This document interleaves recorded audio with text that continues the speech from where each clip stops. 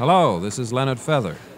Welcome to the Hickory House here on 52nd Street, and welcome also on the occasion of her first American recording session for Blue Note right here inside the Oval Bar to a young lady I had the pleasure of first hearing in 1954 in the little town of Duisburg in Germany.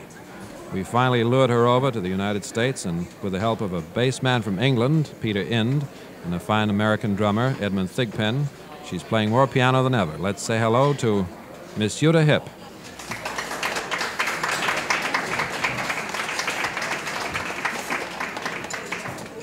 Thank you very much, Leonard. The name of the first tune is Liebe war's nie, that means in English it was never love, or the Americans say it much nicer, they say take me in your arms.